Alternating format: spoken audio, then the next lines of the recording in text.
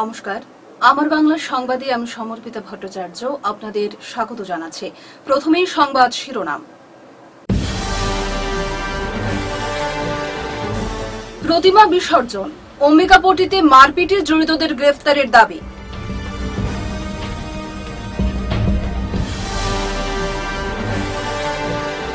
হাতিছড়ার জাতীয় সড়কের বেহাল অবস্থা, দুর্ভোগ চরমে, সরব স্থানীয়রা।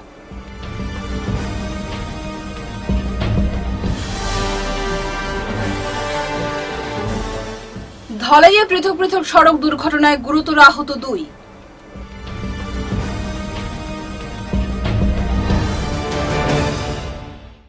এবারে বিস্তারিত আমার বাংলা সংবাদ। বিজয়া দশমীর দ্বিতীয় দিনে শিলচর অম্বিকাপুটি এলাকায় মারপিটের ঘটনায় জড়িতদের বিরুদ্ধে ব্যবস্থা নিতে সোমবার জেলা প্রশাসনকে তিন দিনের সময়সীমা বেঁধে দিলেন শহরের বিভিন্ন পূজা কমিটির কর্মকর্তারা। এদিন শহরের বিভিন্ন পূজা কমিটির তরফে শতাধিক সদস্য ঐক্যবদ্ধ হয়ে কাছাড়া জেলা শাসককে একটি স্মারকলিপি প্রদান করেন। এতে উল্লেখ করে বলা হয় যে আগামী বাহাত্তর ঘণ্টার মধ্যে দুষ্কৃতকারীদের বিরুদ্ধে ব্যবস্থা নেওয়া না হলে জেলা জুড়ে জোরদার আন্দোলন গড়ে তোলা হবে। এদিন ক্ষোভের সাথে হুমকি দেন পূজা কমিটির কর্মকর্তারা। দুষ্কৃতকারীদের ক্যান্সার রোগের সাথে তুলনা করে আইনজীবী সৌমেন চৌধুরী সংবাদ মাধ্যমকে জানান, ঘটনার সাথে জড়িতদের বিরুদ্ধে তিনটি অজামিনযোগ্য মামলা লাগানো সত্ত্বেও পুলিশ কীভাবে তাদের জামিন দিয়েছে তা নিয়ে জনগণের মধ্যে বিভিন্ন প্রশ্ন ঘোরপাক খাচ্ছে। বিষয়টি পুলিশ আধিকারিকদের খতিয়ে দেখার পাশাপাশি দুষ্কৃতকারীদের চিহ্নিত করে দৃষ্টান্তমূলক শাস্তি প্রদানের এদিন দাবি জানান তিনি। এদিকে পূজা কমিটির তরফে তমালকান্তি বণিক ঘটনার তীব্র নিন্দা ও ধিক্কার জানিয়ে শহরের যেসব অঞ্চলে ড্রাগস সহ অন্যান্য অবৈধ ব্যবসা চলে থাকে, সেসব অঞ্চলগুলোর দিকে নজর রেখে প্রশাসনকে অতিসত্বর করা পদক্ষেপ গ্রহণ করার আর্জি জানান। পাশাপাশি গত ছয় অক্টোবরের মারপিট কাণ্ডে জড়িতদের আগামী তিন দিনের মধ্যে গ্রেফতার করে দৃষ্টান্তমূলক ব্যবস্থা গ্রহণেরও দাবি জানান তিনি। অন্যথায় জেলা জুড়ে জোরদার আন্দোলন গড়ে তোলা হবে বলেও এদিন ক্ষোভের সাথে হুমকি দেন বিভিন্ন পূজা কমিটির কর্মকর্তারা। যারা দুষ্কৃতিকারীরা ছিল, সেই দিন এফআইআর একটা হয়েছিল। প্রথম পুলিশ নেয়নি এফআইআর, তারপর সেকেন্ডলি পুলিশ এফআইআর নিল। নিয়ে তিন, চারজন দুষ্কৃতীকে তারা আনলো। তারপর সেই জায়গায় দেখা গেল, একদিন পর না দুদিন পরই পুলিশ তাদেরকে বেল দিয়ে দিল। প্রশ্নটা হচ্ছে, যখন একটা এফআইআর হয় এফআইআর হওয়ার পর দুষ্কৃতী ধরা পড়ে, তারপর তাকে কোর্টের থেকে কোর্ট মারফত বেল নিতে হয়। কিন্তু সেই বেল না নিয়ে পুলিশ কীভাবে বেলটা দিয়ে দেয়, এটা একটা প্রশ্নবোধক চিহ্ন। দ্বিতীয় বিষয় যেটা হচ্ছে, যেটা আমরা আজকে আমাদের ডিসি মহোদয়কে বললাম, যে আপনি এই যে ঘটনাবলী ঘটে যাচ্ছে লাস্ট পাঁচ ছ বছর ধরে, কারা করছে বা কারা না করছে, প্রশাসন ভালো করে জানে এবং প্রশাসনের আমরা দিক আকর্ষণ করতে চাইছি। যে এরিয়াতে বিভিন্ন ধরনের ড্রাগসের ইলিসিট ব্যবসা হয় বা বিভিন্ন ধরনের ইলিগাল কাজকর্ম হয়ে থাকে, সেই জায়গায় আপনি তাদের দুষ্কৃতীদের অতি সত্তর আপনি তাদের গ্রেপ্তার করুন বা যাই করুন, আপনাদের প্রশাসনিক ব্যবহার করে, প্রশাসনকে ব্যবহার করে এবং আমরা তিন দিনের সময় বেঁধে দিয়েছি যে সেদিনকার ঘটনা যে ঘটনাবলী হয়েছে, বিভিন্ন ভিডিও ফুটেজ রয়েছে, সেই ফুটেজ অনুযায়ী তাদেরকে আনুন, তাদেরকে সায়স্তা করুন, যাতে করে আগামী দিনে কোনো ধরনের এই ধরনের ঘটনা যাতে না ঘটে। শিলচর হাফলং সৌরাষ্ট্র মহাসড়কের বেহাল অবস্থার দরুন দুর্ভোগ পোহাতে হচ্ছে যাত্রীসহ এলাকার জনগণের। সোমবার বিষয়টি সরব হয়ে এলাকাবাসী সাংবাদিকদের জানান, শিলচর হাফলং সৌরাষ্ট্র মহাসড়কের অন্তর্গত হাতিছড়া এলাকার সড়কটি বিগত কিছুদিন থেকে স্থানে স্থানে বিশাল গর্তে পরিণত হচ্ছে। এতে যে কোনো সময় ভয়ঙ্কর দুর্ঘটনা সংঘটিত হতে পারে। এদিকে একই সড়কের অন্তর্গত বরখলার বালাছড়াতে রয়েছে একটি টোল গেটও। বিষয়টি টোল গেট কর্তৃপক্ষের নজরে এলেও তারাও নীরব ভূমিকা পালন করছেন। ধলাই থানাধীন অসম মিজোরাম তিনশো ছয় নং জাতীয় সড়কে পৃথক দুর্ঘটনায় গুরুতর আহত হলেন দুজন। বাইক দুর্ঘটনার শিকার হন এক Mizo IRP battalion. Mizo IRP battalion বছর তেত্রিশের লালমাল সোয়ামা। সোমবার সকাল এগারোটা নাগাদ বাইক নিয়ে মিজোরাম অভিমুখে যাওয়ার সময় Bhaga M A Laskar senior secondary স্কুলের সম্মুখে থাকে একটি বন্ধ গাড়িতে নিয়ন্ত্রণ হারিয়ে সজোরে ধাক্কা দিয়ে সড়কের ওপর ছিটকে পড়েন। এতে গুরুতর আহত হন তিনি। সাথে সাথে আশপাশের লোকেরা ছুটে এসে তাকে ঘটনাস্থল থেকে উদ্ধার করে ধলাই প্রাথমিক স্বাস্থ্য কেন্দ্রে পাঠান। এদিকে একই দিনে ধলাই প্রাথমিক স্বাস্থ্য কেন্দ্রের সম্মুখে একটি অল্টো নিয়ন্ত্রণ হারিয়ে এক পথচারীকে সজোরে ধাক্কা দিলে গুরুতরভাবে আহত হন তিনি। আহত পথচারী পানি ভরা বাসিন্দা বাবা দাস, বয়স চল্লিশ। এদিকে ঘটনা সংঘটিত হওয়ার পর স্থানীয়রা ছুটে এসে অল্টো নিচ থেকে উদ্ধার করে ধলাই প্রাথমিক স্বাস্থ্য কেন্দ্রে নিয়ে যান। কিন্তু আহত দুজনের অবস্থা সংকটজনক থাকায় ধলাই প্রাথমিক স্বাস্থ্য কেন্দ্রের চিকিৎসকরা তাদের উন্নত চিকিৎসার জন্য শিলচর মেডিকেল কলেজ হাসপাতালে পাঠান। শিলচর পৌর বোর্ডকে পুর নিগমে রূপান্তরিত করতে সিদ্ধান্ত নেওয়া হয়েছিল এবং পুর নিগমের সীমা নির্ধারণে সম্প্রতি জেলা প্রশাসনের পক্ষ থেকে একটি প্রপোজড ম্যাপ তৈরি করে গুয়াহাটিতে পাঠানো হয়। গত সাতই অক্টোবর গুয়াহাটি থেকে তা অ্যাপ্রুভড হয়ে আসে। এরই পরিপ্রেক্ষিতে সোমবার শিলচর জেলাশাসক কার্যালয়ে এক সাংবাদিক সম্মেলনের আয়োজন করা হয়। এতে জেলাশাসক রোহন কুমার ঝা জানান, শিলচর মিউনিসিপাল বোর্ডকে কর্পোরেশনে রূপান্তরিত করতে শিলচর পৌর বোর্ড থেকে প্রত্যেক এলাকাকে অন্তর্ভুক্ত করে একটি প্রপোজড ম্যাপ তৈরি করে গুয়াহাটিতে পাঠানো হয়েছিল। পরবর্তীতে সেই প্রপোজড ম্যাপটিতে অনুমোদিত করে পাঠানো হয় অনুমোদিত ম্যাপটিতে কারোর কোনো আপত্তি দাখিল করতে হলে অথবা কোনো এলাকা সেই ম্যাপ থেকে ছুটে গেলে আগামী বাইশে অক্টোবরের মধ্যে আবেদন দাখিল করতে জানান পরে এ নিয়ে সংবাদ মাধ্যমে বিস্তারিত তুলে ধরেন জেলাশাসক রোহন কুমার ঝা हमारा जो सिलचर म्यूनसिपल बॉडी है म्यूनसिपल बोर्ड है उसको म्यूनसिपल कॉरपोरेशन बनाने का डिसीजन लिया गया था तो हम लोगों ने एक प्रपोज्ड मैप गुवाहाटी भेजा था जिसका गजट नोटिफिकेशन सात तारीख के डेट से आया है तो एज पर म्यूनसिपल एक्ट सात तारीख के बाद, पंद्रह दिन के भीतर, अगर किसी भी जो प्रपोज्ड कॉरपोरेशन का मैप है, अगर किसी को लगता है कि वो इस मैप में छूट गया है, या फिर किसी को लगता है कि वो इस मैप में नहीं रहना चाहिए तो आप क्लेम से ऑब्जेक्शन डाल सकते हैं। 22 तारीख के शाम पाँच बजे तक, हमारे म्यूनसिपल बोर्ड के जो एग्जीक्यूटिव ऑफिसर हैं, श्री आशुतोष डे का एडीसी कचार उनके चेंबर में हार्ड कॉपी दे सकते हैं, या फिर उनके ऑफिशियल ईमेल आईडी पे आप ईमेल कर सकते हैं। लेकिन 22 तारीख शाम पाँच बजे कट ऑफ़ टाइम है उसके बाद हम ये सारे क्लेम्स एंड ऑब्जेक्शंस को एक सीजल करके हम गुवाहाटी डहुआ के पास department of housing and urban affairs के पास भेज देंगे फॉर नेसेसरी एक्शन ऐसे नया जो नहीं होगा उसको नया वार्ड देखिए जो टाउन का जो एरिया था उसमें चूँकि एक एक वार्ड में पॉपुलेशन बहुत बढ़ गया तो उसको भी रिस्ट्रक्चर किए हैं हम लोग। तो वो रिस्ट्रक्चरिंग भी आप आपको अगर लगता है कि आपको उस वार्ड में नहीं जाना चाहिए आप उसका ऑब्जेक्शन डाल सकते हैं। ये बेसिकली ड्राफ्ट है। फाइनल तब होगा जब ये सारे क्लेम्स एंड ऑब्जेक्शन सॉर्टेड हो सॉर्ट आउट हो जाएँगे। उसके बाद जो फाइनल हमको गुवाहाटी से कम्युनिकेशन मिलेगा डोहुआ से, वो हमारा फाइनल कॉरपोरेशन का मैप होगा, जिसके बाद हम वोटर लिस्ट बनाना শারদীয় দুর্গোৎসবের আনন্দ সেরে উঠতে না উঠতে কোজাগুড়ি লক্ষ্মী পুজোকে কেন্দ্র করে উৎসব মুখর পরিবেশের সৃষ্টি হয়েছে গোটা জেলা জুড়ে। কাছাড় জেলার বিভিন্ন হাট বাজারে লক্ষ্মী পুজো উপলক্ষে চলছিল কেনাকাটা। মৃৎশিল্পীরা প্রতিমা বানাতে ব্যস্ত এবং সেটা বাজারজাত করতে বিভিন্ন এলাকায় নিজেদের বানানো মূর্তি নিয়ে পসরা সাজিয়ে বসেছিলেন তারা। আধুনিকতার সাথে তাল মিলিয়ে নিজেদের শিল্প, সংস্কৃতি এবং ঐতিহ্যকে ধরে রাখার এক অভিনব প্রয়াস করে যাচ্ছেন গ্রাম কাছাড়ের শ্রীকুনার মৃৎশিল্পীরা নেই ভালো রাস্তাঘাট, নেই বিদ্যুৎ, তবুও নিস্তার নেই প্রতিমা করার কাজে।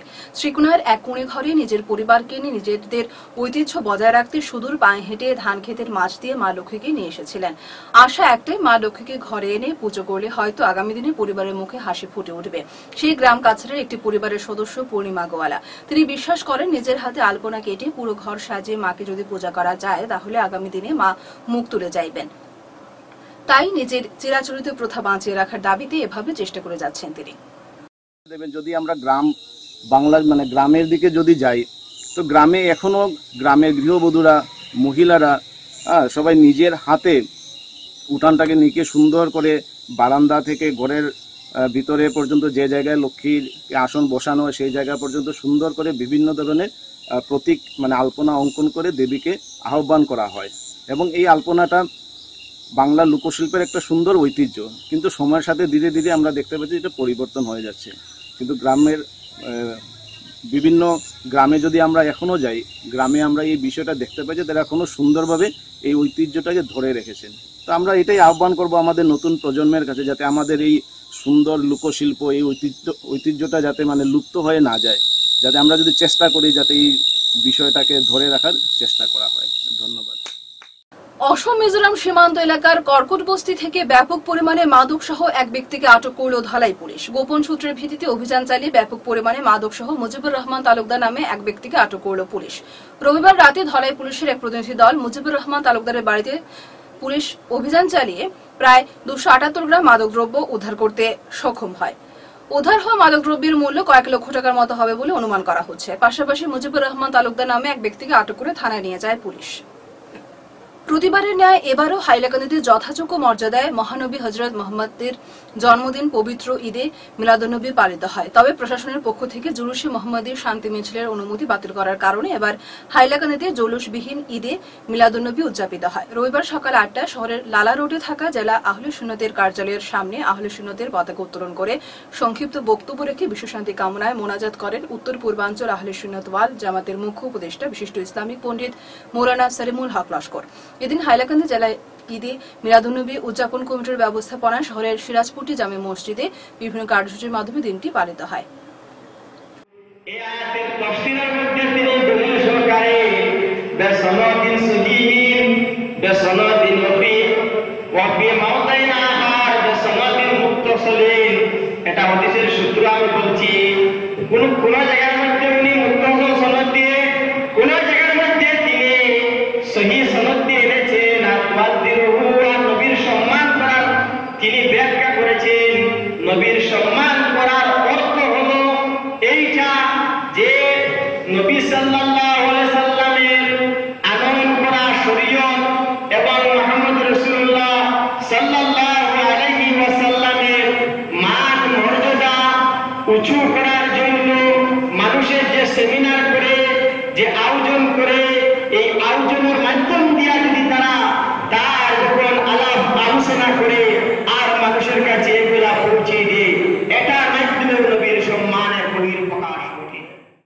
ঈদে মিলাদুন্নবীর রাতে রবিবার সোনাইয়ের চরকিশা বাবা মোকাম ডেভেলপমেন্ট ট্রাস্টের উদ্যোগে ও মোহাম্মদিয়া ইউথ কমিটির ব্যবস্থাপনায় মেহফিলে নাতে রাসুল অনুষ্ঠিত হয়। নবীর জন্মদিন উপলক্ষে এদিন জমজমাট নাথ পরিবেশন করেন জেলার সুনামধন্য নাথখারা এদিন মোকাম মসজিদ প্রাঙ্গণে অনুষ্ঠিত এই মহফিলে ধর্মপ্রাণ লোকদের উপচে পড়া ভিড় পরিলক্ষিত হয়।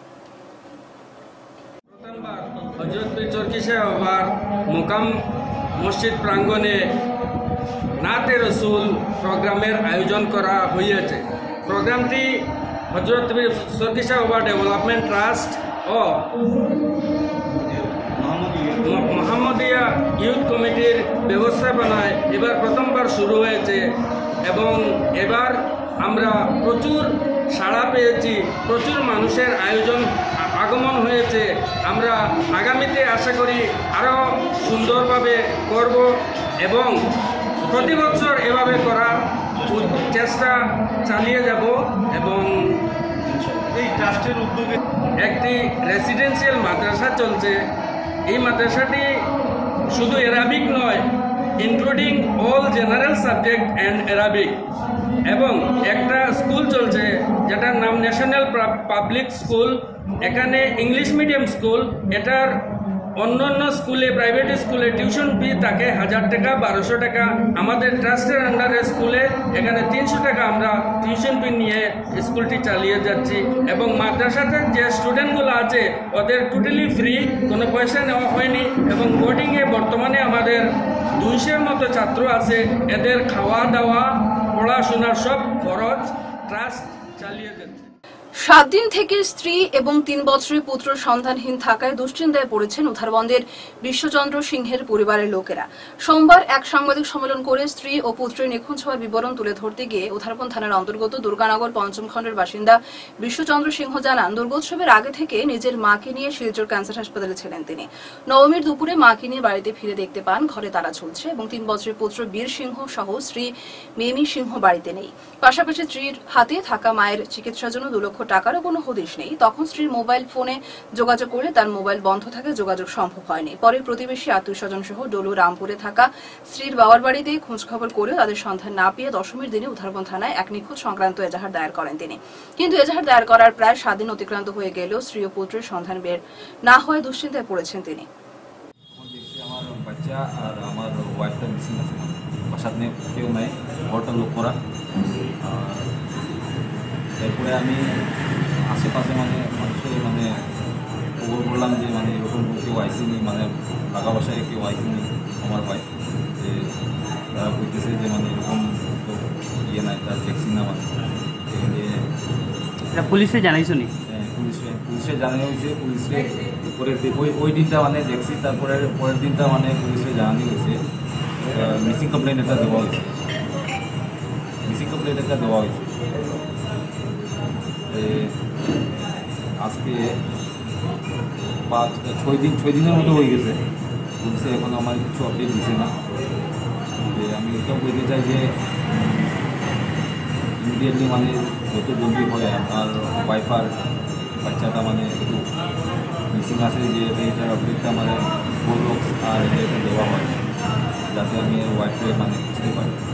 আপনার কোনো টাকা টুকা গেছে না আমার মার ট্রিটমেন্টের লাগে আমি মানে ইয়ে করে আমার ওয়াইফের কাছে রাখছিলাম। মানে একুরেট করতে পারলাম না দুই লাখের মতো আসলো। উধারবন বিধানসভা কেন্দ্রের কাশীপুর ক্ষুদ্র প্রাথমিক চিকিৎসা কেন্দ্রের অবস্থা অত্যন্ত বেহাল। রাজ্যে বিজেপি ক্ষমতায় আসার পর এলাকার বহু উন্নতি ঘটেছে বলে দাবি করেন বিধায়ক মিহির কান্তি সোম। কিন্তু বাস্তবে কাশীপুর প্রাথমিক চিকিৎসা কেন্দ্রের কোনো উন্নতির ছোঁয়া লাগেনি। ওই হাসপাতালে যেখানে সাতজন স্বাস্থ্যকর্মীর নাম তালিকায় আছে, সেখানে বাস্তবে একজন ফার্মাসিস্ট ও চৌকিদার ছাড়া আর কাউকে পাওয়া যায় না। এমন অবস্থায় কোনো জরুরিকালীন রোগীকে চিকিৎসার জন্য উধারবন বা বাসকান্দি চিকিৎসা কেন্দ্রে নিয়ে যেতে হচ্ছে। অন্যদিকে এই অঞ্চলের দরিদ্র মানুষ যখন চিকিৎসার জন্য উক্ত হাসপাতালে যান, তখন কর্মীরা তাদের কাছ থেকে অর্থ দাবি করেন বলে অভিযোগ। সমাজ মাধ্যমের সঙ্গে আলাপকালে ওই অঞ্চলের জনগণ বলেন, সরকার হাসপাতালটি বানিয়ে অর্থের অপচয় করছে। এতে সামান্যতম কাজে লাগছে না সাধারণ মানুষের। আমরা হসপিটালে যেমন আমরা গ্রামর পাবলিক মানে সুবিধার লাগে আমরা হসপিটালটা বানানি হয়েছে যে আমরা পাবলিক ইকানো কিনারও আছে, আমরা রুগী পেশেন্ট লইয়া যাইমু, রাত বারোটা হইলেও আমরা যাইতাম পারমু, আমরা কিনারও আছে। এই ইকানো হসপিটাল বনার পরে আমরা বিধায়কে ডাক্তার ও আজকে দিমু, কালকে দিমু কইয়া ডাক্তার নাই, নার্স নাই, কিচ্ছু নাই, যে হসপিটালটা বুতর মতো পড়ি রয়েছে হসপিটাল সারা বুথে বাস করে পেশেন্ট আইয়া যে ইনো ডাক্তার নাই ইনো থাকিয়ে কিতা করতো? সব যন্ত্রপাতি আছে ভিতরে। বাকিন ডাক্তার নাই, নার্স নাই পেশেন্ট আর যায়গি তোমার শিলচার হৌ নমিনা তৌ যুৱত তে আমরা এই হসপিটালে রাখিয়া ফয়দা কিতা স্যার।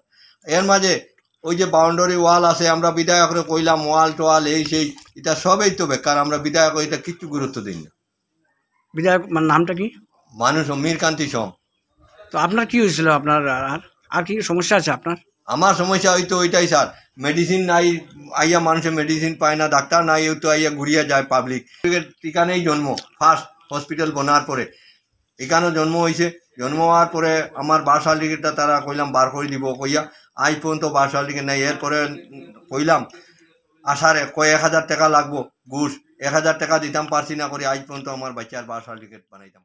উধারবন বিধানসভার অন্তর্গত দয়াপুর জামে মসজিদের ব্যবস্থাপনায় বিশ্বনবী হজরত মোহাম্মদের জন্মদিন উপলক্ষে ছবাহি মক্তবের বাৎসরিক কিরাত গজল ও ইসলামিক শরীয়ত মতে প্রদর্শনী মাহফিল অনুষ্ঠিত হয়। রবিবার উক্ত সভায় সভাপতিত্ব করেন দয়াপুর জামে মসজিদের সভাপতি শেকুল লস্কর। সকাল নয়টা থেকে বিভিন্ন গ্রামের ছোট ছেলে মেয়েদের মধ্যে কোরআন পাঠ ইসলামিক গজল, প্রবন্ধ প্রতিযোগিতা, ওয়াজ মাহফিল, জিকির নিয়ে আলোচনা হয়। প্রথমে আপনার হজ করার কথা বলেন নাই, জাকাত দেওয়ার কথা বলেন নাই। সর্বপ্রথম কোরআনে করিমের আয়াত নাজিল হয়েছিল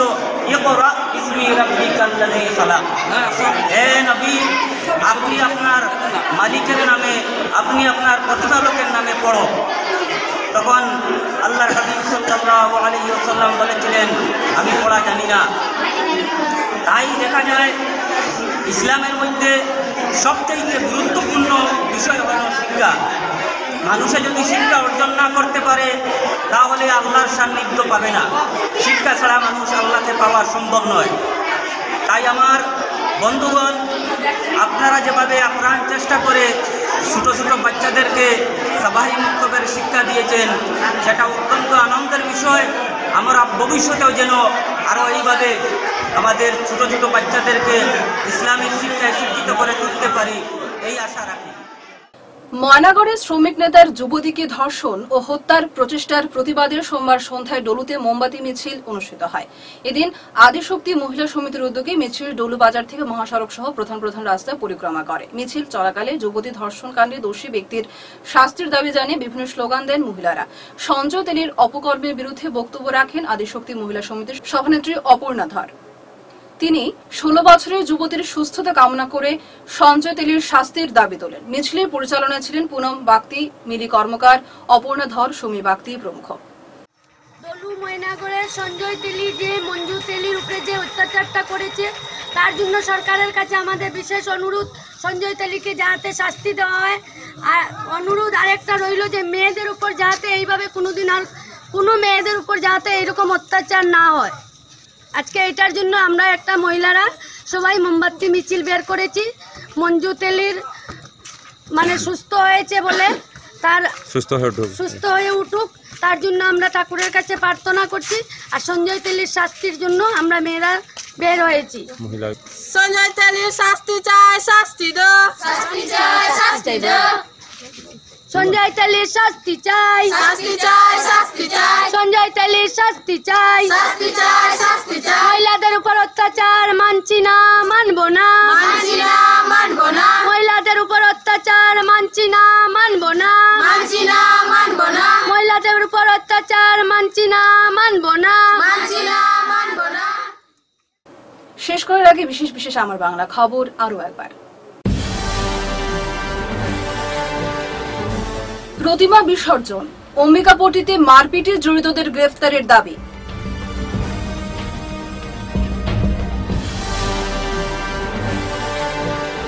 হাতিছড়ার জাতীয় সড়কের বেহাল অবস্থা, দুর্ভোগ চরমে, সরব স্থানীয়রা।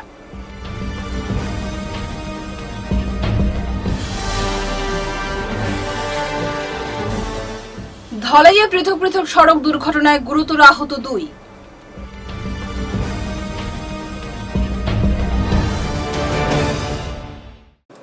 এখনকার মতো আমার বাংলা সংবাদ এ পর্যন্তই। নমস্কার।